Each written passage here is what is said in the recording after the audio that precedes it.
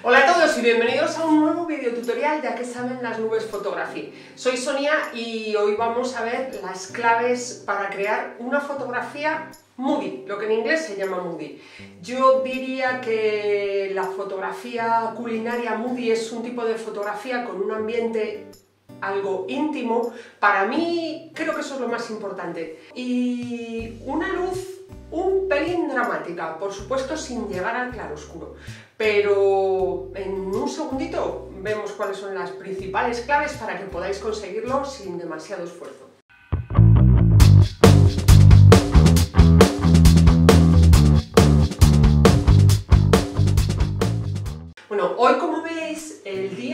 Bastante nublado y aquí en mi estudio tengo solamente esta ventana, por eso tengo este reflector que veréis blanco pegado a mí para ver si me da un poquito más de luz. Tengo que, para que veáis bien el tipo de iluminación que voy a conseguir, tengo que grabar el vídeo tutorial con la luz natural de la que dispongo. Mm, por eso seguramente veréis el vídeo algo oscuro, pero así por lo menos podéis ver qué tipo de luz estoy consiguiendo en en mi escenario, en el set que he montado. Y en estos días la verdad es que a mí me encanta hacer este tipo de fotografías, porque en la fotografía mm, culinaria o de still life con un ambiente más más moody, más íntimo, más dramático, no vamos a llegar ni mucho menos a esas sombras tan oscurísimas, a esos negros del claroscuro y unas zonas de luz, sino que vamos a tener una iluminación contrastada que como hacíamos en, el video tutorial de las claves para un esquema de iluminación de claroscuro, os dejo aquí el enlace, uy que me cargo la rama, pues tenemos que dirigir también la luz, pero en este caso vamos a hacerlo de una manera algo diferente. Quería deciros también, aunque es mi opinión, por supuesto, que para mí en fotografía culinaria no es lo mismo una fotografía de claroscuro, con ese gran contraste lumínico, que una fotografía moody. Es diferente, por eso, en mi opinión, las claves son diferentes. Además de, ese, de esa luz con sombras suaves pero marcadas, yo os aconsejaría también en este tipo de fotografía que utilizaseis, como veis ahora mismo que yo he hecho, un esquema de luz trasero lateral. Y además con este sujeto, que son unas madeleines de chocolate, me va a venir fenomenal por una razón, porque necesito textura, que me lo va a dar la dirección algo lateral de mi luz, y también que se separen los volúmenes, y eso de cada una de las madeleines, por supuesto. Y eso me va a ayudar también la luz trasera, aparte de que es una luz preciosa para fotografía culinaria, es una luz muy bonita. Luego vamos a ver poquito a poco cómo cambia la luz, porque hoy no voy a trabajar con reflectores negros como lo hacía el otro día en claro oscuro, ni con barreras negras. Por supuesto, este reflector blanco se va a ir de aquí, ¿eh? es de momento para que me veáis mejor.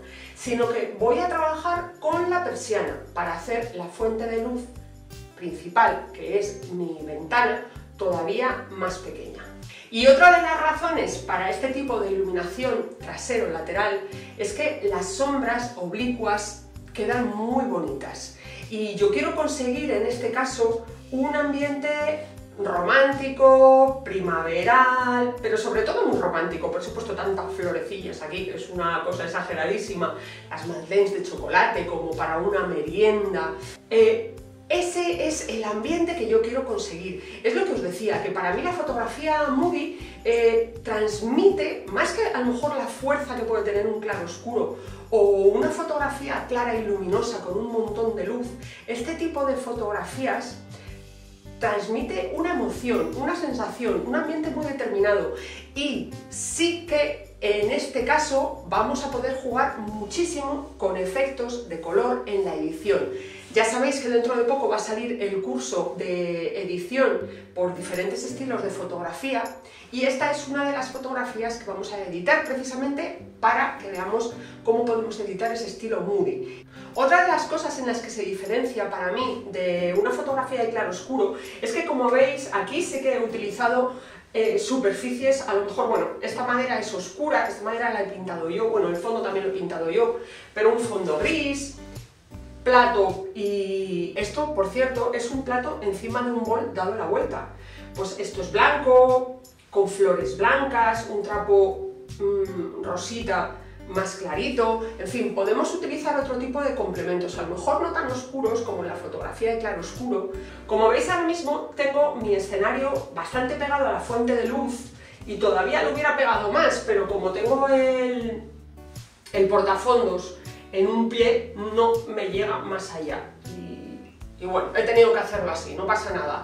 Y por otra parte también os diría que en este tipo de fotografía, según os guste un poquito más luminosa o un poquito más oscura, mi consejo es que utilicéis eh, o bien disparéis en manual o bien en apertura de diafragma y subexpongáis un pelín la exposición. Medid bien las luces, que no se os quemen, porque aquí vamos a tener, como os digo, por ejemplo, y encima al lado de la luz, un trapo claro, flores blancas, cuidado con esas luces que no se quemen, y luego subexponer un poquito si lo que os gusta es un tipo de fotografía algo más oscura. Bueno, pues nada más. Voy a quitar ahora ya este reflector para que no nos moleste y vamos a empezar a hacer los primeros disparos. Vamos a empezar ya con la parte práctica y os voy a contar que hoy no vais a poder ver la cámara. Sí que vais a ver lo que, cuando yo vaya disparando, vais a ver la imagen de lo que he conseguido. Pero la cámara es que está bastante alejada hoy porque estoy utilizando un objetivo de 60 milímetros que me gusta mucho y lo utilizo todo lo que puedo, pero este lo tengo que echar más atrás. Estoy intentando conseguir esas sombras algo oblicuas, que quedan muy bonitas, y sombras marcadas.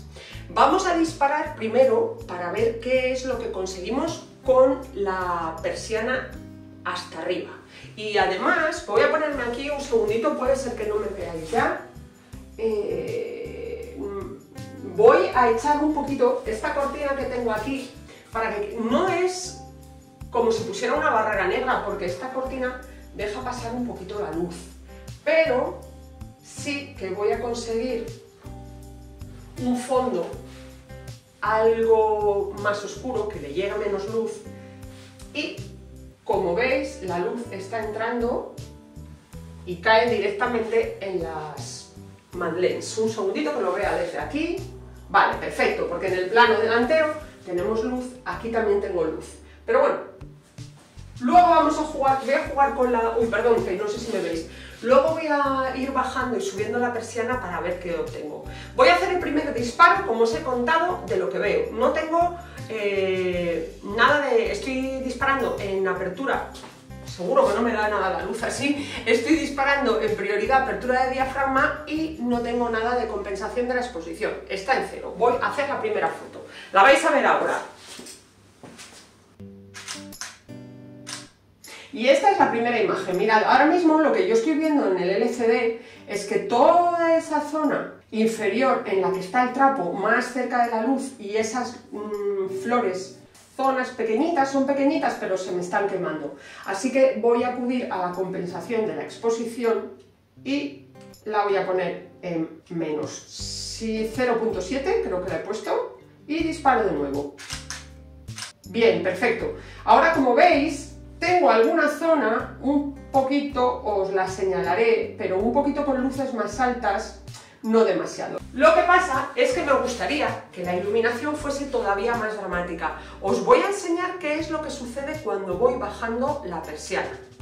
Fijaos ahora lo que va a ir sucediendo, sobre todo en esta zona, en estas sombras, cuando voy bajando la persiana de la ventana del estudio. Mirad lo que vamos consiguiendo las sombras. Cada vez se van haciendo más largas y más oscuras.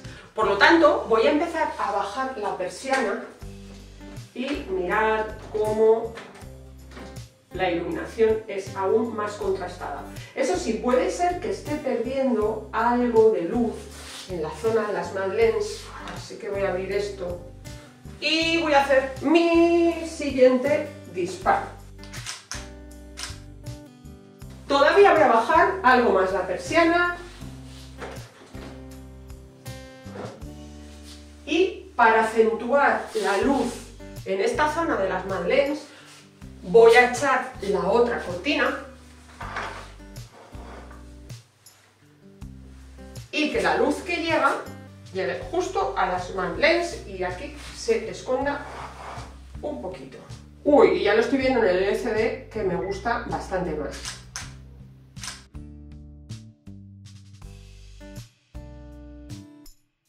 Voy a echar también más esta cortina. Ahí.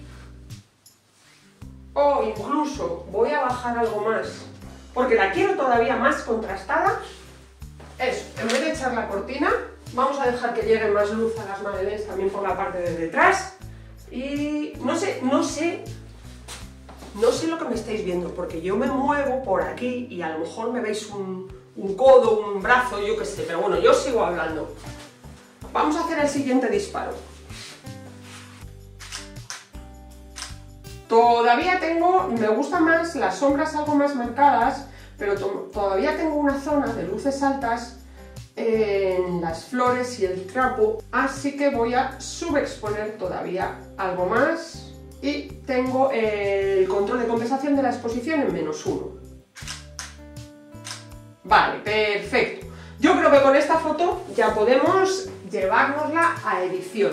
Por supuesto, os aconsejo que bajéis y subáis la persiana para hacer diferentes disparos con diferentes aperturas de la persiana y por lo tanto que la fuente de luz sea más o menos pequeña.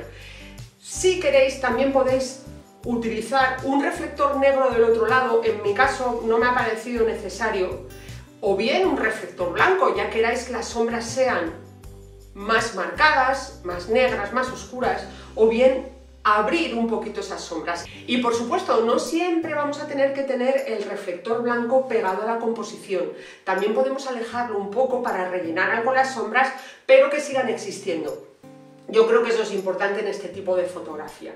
Bueno, y, nada más. Dentro de poco va a salir el curso ya de, edición, así que si queréis ver cuáles son las claves para editar todo este tipo de fotografías y que os queden preciosas, pues nos veremos en el curso. Dentro de poco anuncio cuándo se abre para inscripción. Supongo que en dos semanas más o menos. Muchísimas gracias a todos y hasta el próximo vídeo. Adiós.